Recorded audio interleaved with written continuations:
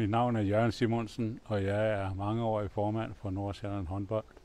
Og jeg er utrolig glad øh, for det her arbejde. Og min mission med det, det er jo, at øh, det her det skal være den bedste håndboldklub øh, i hele Nordsjælland, og samle rigtig mange mennesker omkring det her fantastiske arbejde. Jeg samtidig har en virksomhed, der hedder Nordsag AS, og vi ligger i Græsted og det er en mangeårig også samarbejdspartner med uh, Nordsjællands håndbold, hvor jeg har været øh, guldsponsor i gennem rigtig mange år, og er det stadig. Og det er min bedste oplevelse med Nordsjællands håndbold, det er at så se alle de her unge talenter arbejde konstant, ikke? Og så for at så blive bedre og blive bedre.